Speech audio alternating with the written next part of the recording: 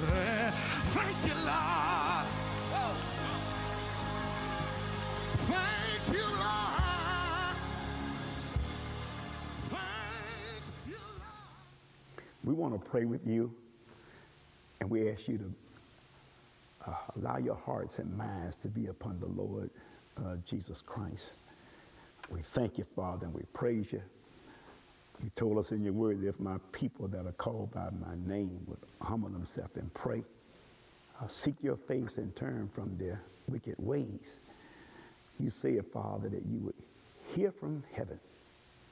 You forgive our sins and heal our land. We need you, Father, to heal our land.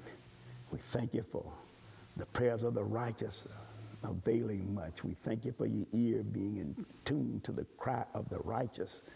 And we cry out today as children of God, and we ask you, God, to intervene, to intercede, give us victory over this virus. We pray, God, that you would let them find a speedy answer, a speedy solution, that they'll get the vaccine and things that they need, that our nation, this world could be healed. We, pray, we pray especially for the first responders. We pray for the nurses and doctors and those that are on the front line who are risking their lives, God, for the lives of others. We are truly in a war, fighting an unseen force.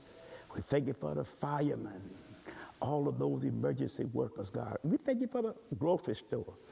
People putting their life on the line to make sure we have the necessities of life. We thank you, God, for all the essential workers.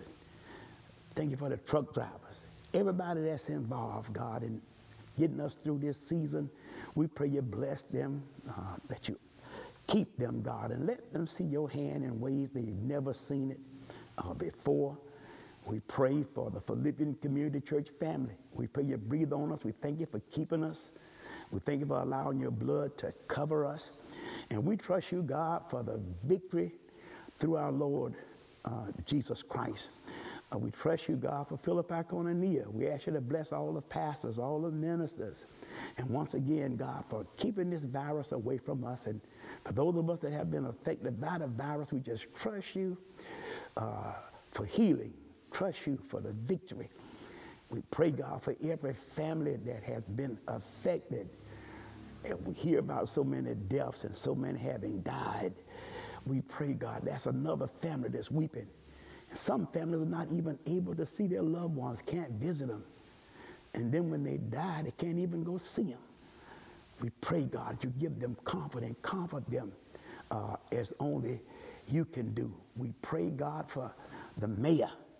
We pray for the president. We have every congressman. Uh, we pray for those that are in authority. You told us, God, if we would pray for those that are in authority, we could lead a quiet and a peaceable life. God, we ask you to give them the solution, give them what to do. The king's heart is in the hand of the Lord. You turn it whithersoever ye will. And these leaders come together and we see the unity that you've created in this world, not just in America, God. We pray you bless that unity. You said in your word, when a people are one, who can constrain them?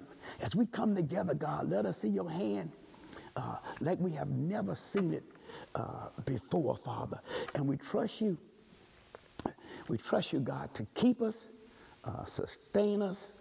Let us be encouraged. We pray for our children, that you bless our children, bless our parents home with our children. We pray for a greater family bond, that families would come closer together uh, during this season. We pray that the love would grow, uh, not just in our home, but also um, in our city, in our country, Father, uh, in the name of Jesus. And as we're praying, God, I'm mindful of Jehoshaphat uh, when he prayed before the Lord.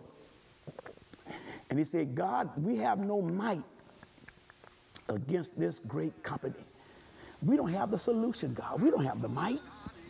And he said something. He said, Our eyes are on you. Jehoshaphat knew that you were going to do something, Father. He knew that you had the solution. And now, today, God, our eyes are on you. We know you have the solution.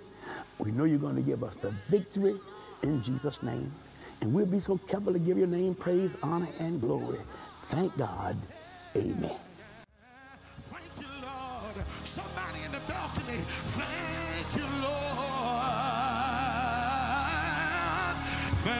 Lord. He's been my friend. No, we don't sing like that no more. He's been my friend.